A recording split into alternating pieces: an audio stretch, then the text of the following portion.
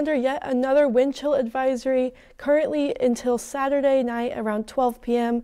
Those wind chills are going to drop down Saturday morning to 14 below zero at the lowest places and even 12 below zero here in Charleston. Now looking at today, today's highs were much warmer than that with temperatures in the low to mid 30s throughout the entire viewing area. Overnight tonight, those temperatures will drop and we'll see a low of around 11 degrees with a chance of snow, along with winds out of the northwest at 10 to 15 miles per hour, sometimes gusting up to 30. If you look outside right now, you might be able to see some snow flurries falling in your area, but as we continue throughout tonight, the entire viewing area will see a will see snow fall throughout the night, but that snow will move out by tomorrow morning, leaving us with mostly cloudy skies throughout tomorrow.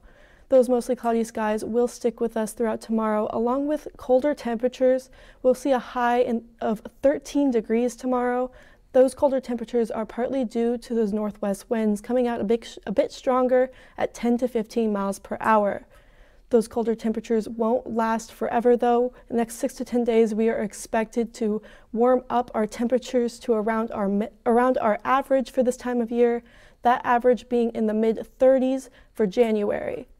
You'll see that warm up here on our uh, weekend outlook. Friday and Saturday, we will see temperatures in the teens still for our highs, with a high of 13 on Friday and a high of 15 on Saturday under mostly clear skies, but then that real warm up on Sunday with a high of 25 degrees.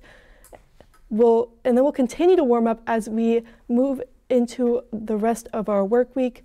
Monday, we'll see a high of 30 degrees, along with a chance of some wintry mix, but that wintry mix will turn into rain as we move into Tuesday, along with a slight cool down with a high of 29. And then by Wednesday, we will see a high in the 40s, a high of 40 on Wednesday, and then another slight cool down on Thursday with a high of 39 and the return of another chance of rain.